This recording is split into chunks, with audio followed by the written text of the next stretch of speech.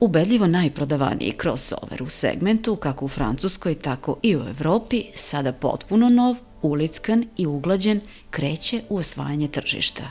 A koji je cilj druge generacije Renault Captura?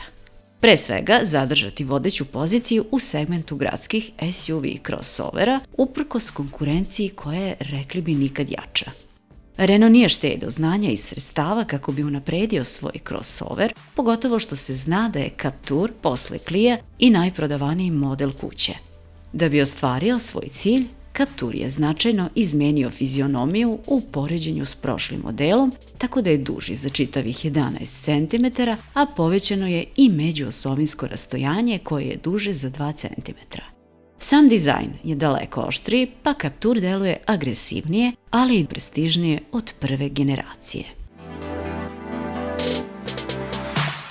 Stilski detalji kao što su LED dnevna svetla u obliku slova C i to kako napred, tako i pozadi su ono najupečatljivije. Kao i prethodnik i ovo je visoko postavljen od tla uz točkove koje idu i do 18 cola. Prepoznatljive dizajnerske linije viđene su i na petoj generaciji Clio, s kojim Captur deli CMF-B platformu. Evolucija, a ne revolucija, primetna je na mnogim detaljima. Vidljiva veza sa Cliom, osim kod eksterijera, primenjena je i u putničkoj kabini. Interijer Captura je potpuno nov, uz mnoge zajedničke elemente sa Cliom.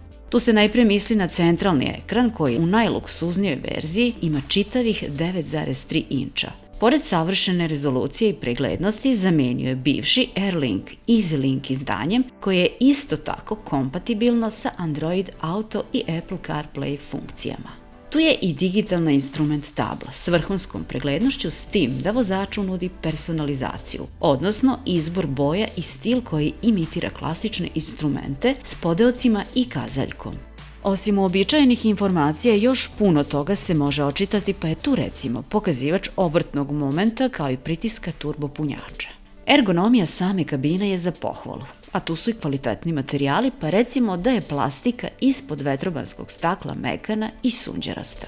Upravljač je takođe nov, savršenih dimenzija i debljine, podesiv je po visini i dubini. Uz podešavajući naslon za lakat, tu je omanji boks za odlaganje stvari. Ispod centralnog ekrana smešten je niz prekidača. Komande automatskog klima uređaja lako su dostupne i pregledne. Nije se zaboravilo ni na praktične detalje, pa pošto je mehanička ručna košnica zamenjena automatskom električnom, pronašlo se mesta za udubljenje za limenke. I vrata nude mesto za odlaganje flaša, dok je u dnu centralne konzole mesto predviđeno za bežično punjanje smartfona. Gepek Captura nudi maksimalnih 536 litara i to u dva nivoa.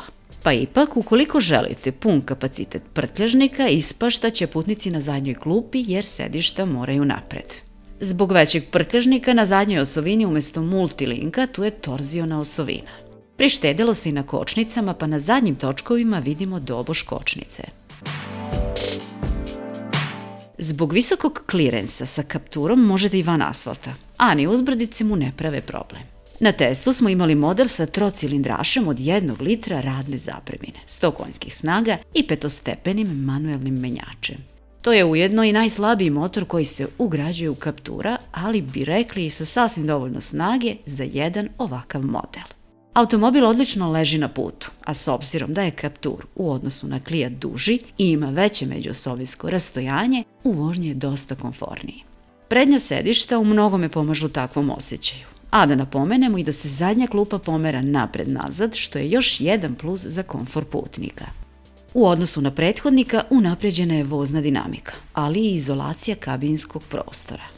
Iako je Captur lider u segmentu, Renault je ipak poslušao reči kritike pa je nova generacija atraktivnija, veća, prostranija, ali i kvalitetnija od prethodnika što u zbiru donosi još jedan veliki adut u špilu Francuza.